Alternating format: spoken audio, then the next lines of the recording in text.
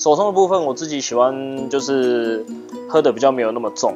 去过那个教授那边一次之后，我就觉得其实我之前喝的咖啡，我觉得味道都太重，所以我喜欢他的他他说的那一套。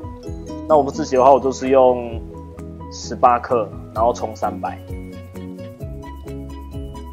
水温部分我大概都用八八到九二，看豆子的的的表现。呃，我喜欢的冲法，我喜欢一注冲到底，就我觉得它可以比较表现红豆时它本来想要呈现的东西。除非我觉得这些豆子比较特别，那我就会用另外的冲煮法。然后有时候也会用刀割的方式，就是点滴。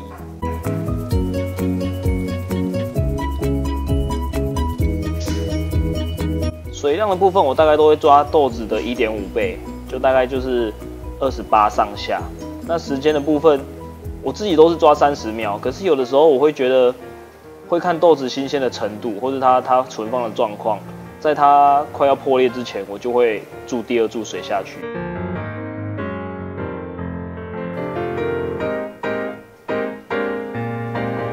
我喜欢带甜感，所以我的器具都会比较偏向就是走甜感的的表现。